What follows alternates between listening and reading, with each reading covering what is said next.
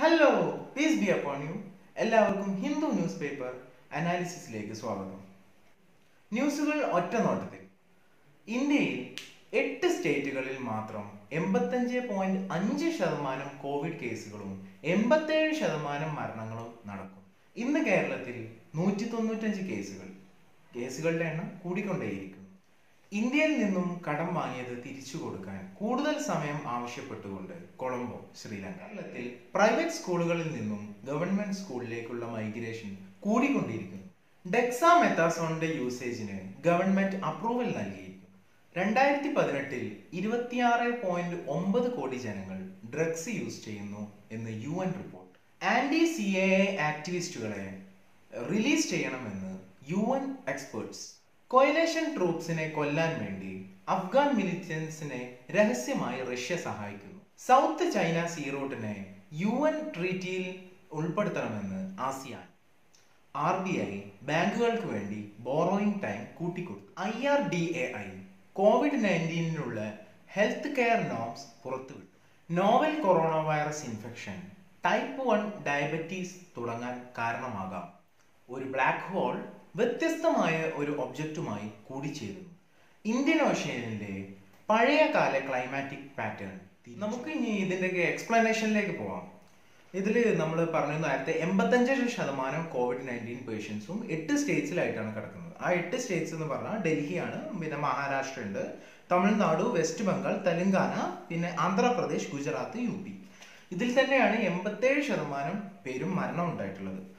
പിന്നെ ഇതിനെ റിവ്യൂ ചെയ്യാൻ വേണ്ടിയിട്ട് നമ്മുടെ ഗ്രൂപ്പ് ഓഫ് മിനിസ്റ്റേഴ്സ് വലിയ group of ministers under chairmanship of health minister ഹർഷവർദ്ധന്റെ കീഴിൽ ഇന്നലെ ഒരു മീറ്റിംഗ് നടത്തി. അപ്പോൾ ആ മീറ്റിങ്ങിൽ നമ്മൾ മനസ്സിലാക്കിയത് പറഞ്ഞാൽ പതിനഞ്ച് സെൻട്രൽ ടീംസിനെ അതിൽ പബ്ലിക് ഹെൽത്ത് എക്സ്പേർട്സ് ഉണ്ടാവും പിന്നെ എൻഡമനോളജിസ്റ്റ് ഉണ്ടാവും പിന്നെ ക്ലിനീഷ്യൻസ് ഉണ്ടാവും പിന്നെ ഒരു ഓഫീസർ റാങ്കിൽ കിടക്കുന്ന അതായത് ജോയിന്റ് സെക്രട്ടറി ഓഫീസർ റാങ്കിൽ കിടക്കുന്ന ഒരു ഓഫീസറും ഉണ്ടാവും. ഇവരെയൊക്കെ ഈ സ്റ്റേറ്റുകളിൽ ഹെൽപ്പ് ചെയ്യാൻ വേണ്ടിയിട്ട് പറഞ്ഞ. നമ്മൾ രണ്ടാമത്തെ ന്യൂസിൽ പറഞ്ഞത് നൂറ്റി തൊണ്ണൂറ്റഞ്ച് കേസസ് ആയിട്ടുണ്ട് എന്നാണ്. നമ്മൾ ഇപ്പം കൂടുതൽ ആളുകൾ ഫ്ലൈറ്റിലും കൂടുതൽ ആൾ പുറത്തെ സ്റ്റേറ്റ്സും ഒക്കെ കേരളത്തിലേക്ക് വരുന്നുണ്ട്. അപ്പം ആ വരുന്നതിനെ സംബന്ധിച്ചിടത്തോളം ആൾ പേഷ്യൻസ് കൂടുന്നുണ്ട്. പക്ഷേ നമ്മളെ തൊണ്ണൂറ് ശതമാനം ആളുകളും എന്താണ് പുറത്തുനിന്ന് വരുന്നതായതുകൊണ്ട് അത്രത്തോളം കൺസേൺ ചെയ്യാനുള്ള സമയമായിട്ടില്ല എന്നാണ് പറയുന്നത്. പിന്നെ ഇപ്പൊ മൊത്തത്തിൽ നമ്മൾ ഒരു ടെൻഷൻ ഉള്ള ഒരു ചെറിയ കാര്യം പറഞ്ഞാൽ ഒന്ന് സെവന്റി കേസസ് ഏകദേശം എഴുപത് കേസസിന്റെ അടുത്തും പിന്നെ ഏകദേശം ഏഴ് ഡെത്ത്സും അവരുടെ ഒന്നും ട്രാക്ക് റൂട്ട് നമുക്ക് കറക്റ്റ് കണ്ടെത്താനായിട്ടില്ല. പക്ഷേ തൊണ്ണൂറ് ശതമാനം ആളുകളും ക്വാറന്റൈനിൽ കിടക്കുന്ന ആളുകൾ തന്നെയാണ് അവർക്ക് മാത്രമായിട്ട് വന്നിട്ടുള്ളൂ. പിന്നെ ഇന്ന് നൂറ്റി രണ്ട് റിക്കവറീസും ഉണ്ട് പിന്നെ മൂന്നാമത്തെ ന്യൂസ് എന്ന് പറഞ്ഞാൽ നമ്മളെ കൊളംബോ ശ്രീലങ്ക ശ്രീലങ്ക ഇന്ത്യയിൽ നിന്നും കടം വാങ്ങിയിരുന്നു. ശ്രീലങ്ക ഇപ്പം ഏകദേശം ഒരു ഡെപ്റ്റ് ട്രാപ്പിൽ കുടുങ്ങി കിടക്കുകയാണ് ഇന്ത്യയ്ക്ക് ഏകദേശം യു എസ് ഡോളേഴ്സിൽ പറയുകയാണെങ്കിൽ തൊള്ളായിരത്തി അറുപത് മില്യൺ നമുക്ക് തരാനുണ്ട്. പിന്നെ അതുകൊണ്ട് തന്നെ ഇപ്പം ഈ കൊറോണന്റെ വൈറസും എല്ലാം കൂടി ആയതുകൊണ്ട് അവർ കുറച്ചുകൂടി സമയം നൽകണം എന്ന് പറയുന്നുണ്ട്. ശ്രീലങ്കൻ പ്രസിഡന്റ് ബെയ്ജിങ്ങിൽ പോയിരുന്നു. എന്നിട്ട് അവിടുന്ന് ചൈനയുമായിട്ട് ഡിസ്കഷൻ നടത്തിയിട്ട് അവസാനം ഒരു അഞ്ഞൂറ് മില്യൺ യു എസ് ഡോളേഴ്സും കൂടിയും അവർ ചൈന നൽകാമെന്നാണ് പറയുന്നത്. ഇപ്പം ശരിക്കും നടക്കുന്നത് ചൈനയുടെ കയ്യിൽ ഒരുപാട് ക്യാഷ് ഉണ്ട്. നമ്മുടെ ജി ഡി പി ഒക്കെ എടുത്ത് നോക്കിയ ഇന്ത്യയുടെ ഏകദേശം ഒരു എട്ട് ഇരട്ടിയോളം അവരുടെ ജി ഡി പി വരുന്നുണ്ട്. അമേരിക്കന്റെ നേരെ താഴത്തായിട്ട് ചൈനയാണ് കിടക്കുന്നത്. അവരുടെ കയ്യിൽ ഒരുപാട് പണം ഉണ്ടായതുകൊണ്ട് തന്നെ അവർ ഒരുപാട് ആളുകൾക്ക് ഇങ്ങനെ ലോണ് കൊടുക്കും. ലോണാണ് ഇതൊക്കെ കൊടുക്കുന്നത്. രണ്ടായിരത്തി പതിനാലിലാണ് ഇവർ ഇതിന് മുന്നേ കൊടുത്തത്. അപ്പം ഇവർ ചെയ്യുന്നത് കാരണം മാക്സിമം ക്യാഷ് കൊടുക്കും. എന്നിട്ട് അത് റിക്കവർ ചെയ്യാൻ വേറെ മാർഗങ്ങളൊക്കെ യൂസ് ചെയ്തിട്ട് ഒരു ഡെപ്റ്റ് ട്രാപ്പ് ഒരു കടക്കിണിയിൽ കൊടുക്കുക ഓരോ രാജ്യങ്ങളെ കൊടുക്കുക എന്നുള്ള ഒരു ടെക്നിക്കാണ് ചൈന യൂസ് ചെയ്യുന്നത്. ഇതേമാതിരി അവർ മാൽദ്വീപ്സിനായിട്ട് കളിച്ചിട്ടുണ്ട് മാൽദീവ്സ് ഏകദേശം ഒന്നര ബില്യൺ യു എസ് ഡോളേഴ്സ് ഇപ്പം നൽകാനുണ്ട് ചൈനക്ക്. അത് ഇവർക്ക് കൊടുക്കാൻ ഒരിക്കലും കഴിയില്ല. തിരിച്ചു കൊടുക്കാൻ കഴിയില്ല. അത്രയും പണം കൊടുത്ത് സഹായിക്കും. ഒരുപാട് തിരിച്ചു കൊടുക്കാനുണ്ടാവും. അങ്ങനെ ലോൺ കൊടുക്കാൻ കഴിയാതെ കുടുങ്ങി കിടക്കും ഇപ്പം അത് അതൊക്കെ ഇവർ യൂസ് ചെയ്യുന്നത് പറഞ്ഞാൽ ഒരു ബെൽറ്റ് ഉണ്ടാക്കുന്നുണ്ട് അവർ മറ്റേ ഇന്ത്യയെ മൊത്തം വളയുന്ന രീതിയിൽ ഒരു ബെൽറ്റ് ഉണ്ട് ഒരു അതേപോലെ തന്നെ അവരുടെ റോഡ് ഇനീഷ്യേറ്റീവ് പ്രോജക്ട്സും ഉണ്ട്. അപ്പം പുറത്തുള്ള രാജ്യങ്ങളും എല്ലാം കൂടി കണക്ട് ചെയ്യുന്ന രീതിയിൽ ഒരു റോഡ് ഇനീഷ്യേറ്റീവ് പ്രോജക്ട്സും ഇതൊക്കെ ഉണ്ടാക്കാൻ വേണ്ടിയിട്ട് അവർ ഈ ഡെപ്റ്റ് ട്രാപ്പാണ് ഇവർ യൂസ് ചെയ്യുന്നത്. നാലാമത്തെ ന്യൂസ് എന്ന് പറഞ്ഞാൽ വളരെ സന്തോഷകരമായ ന്യൂസ് ആണ്. നമ്മുടെ പ്രൈവറ്റ് സ്കൂളുകളിൽ നിന്നും കൂടുതൽ കുട്ടികൾ എന്ത് ചെയ്യുന്നുണ്ട്? നമ്മുടെ ഗവൺമെന്റ് സ്കൂൾ പബ്ലിക് സ്കൂളിലേക്ക് കടന്നു വരുന്നു അഞ്ചാമത്തെ ന്യൂസ് എന്ന് പറഞ്ഞാൽ പിന്നെ കോവിഡ് നയന്റീൻ പേഷ്യൻസിന് വേണ്ടിയിട്ട്. അതായത് എക്സ്ട്രീം കേസസിനോ അല്ലെങ്കിൽ ഒരു മീഡിയം ഒരു ആവറേജ് കേസസിനോ എന്ത് യൂസ് ചെയ്യാം? ഡെക്സാമെത്തസോണിന്റെ യൂസേജ് യൂസ് ചെയ്യാം എന്നുള്ള ഒരു അപ്രൂവൽ തന്നിരുന്നു. ഇന്നലെയാണ് നമ്മുടെ യൂണിയൻ ഹെൽത്ത് മിനിസ്ട്രി നമ്മൾ സാറ്റർഡേ ആണ് റിലീസ് ചെയ്തത്. അപ്ഡേറ്റഡ് ആയിട്ടുള്ള ക്ലിനിക് പ്രോട്ടോകോൾസ് ഇതിന്റെ പ്രോട്ടോകോൾസ് വിട്ടപ്പോൾ ആ പ്രോട്ടോകോളിലാണ് ഇതിനെ കുറിച്ചുള്ള അപ്രൂവൽ പറഞ്ഞത്.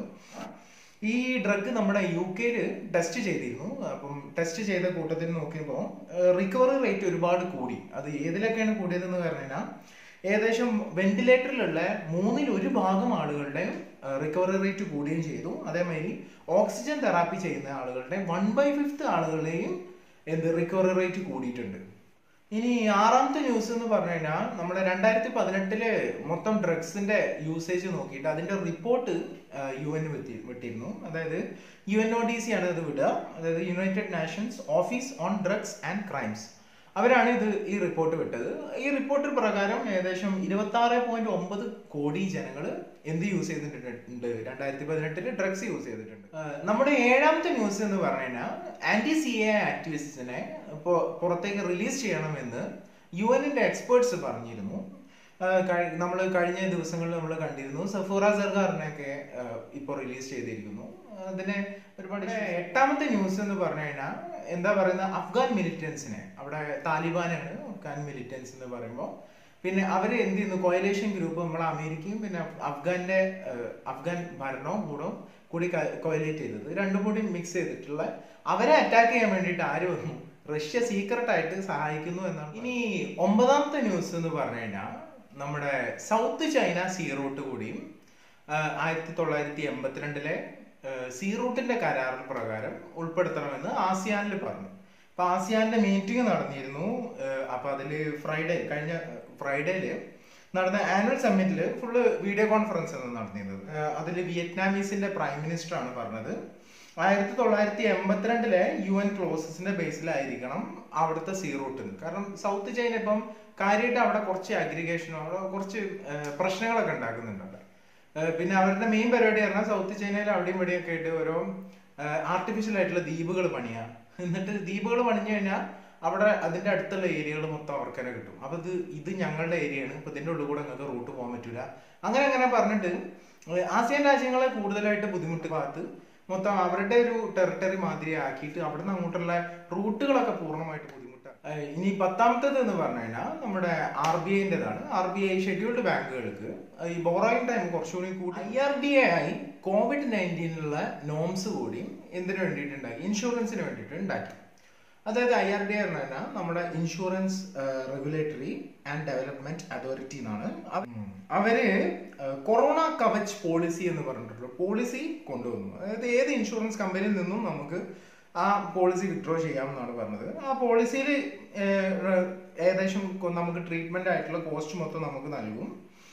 അതിൽ ഇൻക്ലൂഡിങ് ഹോം കെയറിനെയും ആയുഷ് ട്രീറ്റ്മെന്റ് രണ്ടും കൂടി ഇതിൽ ഇൻക്ലൂഡ് ചെയ്തിട്ടാണ് ഈ കൊറോണ കവച് പോളിസി എന്ന് പറഞ്ഞിട്ടുള്ളത് ഉണ്ടാക്കിയത്. അതിൽ ഏകദേശം മിനിമം ആണെങ്കിൽ ഫിഫ്റ്റി തൗസൻഡും മാക്സിമം ഫൈവ് ലാക്കും ആണ് അതിൽ കിട്ടുക. അതിൽ ഒരു ഫാമിലി മൊത്തമാണ് ഈ ഹെൽത്ത് കവറിന്റെ ഇതിൽ ഉൾപ്പെടുത്തുക. പിന്നെ ഹെൽത്ത് കെയർ വർക്കേഴ്സിനാണെങ്കിൽ അവർക്ക് ഫൈവ് പെർസെന്റേജ് ഡിസ്കൗണ്ട് കൂടി നൽകുന്നുണ്ട്.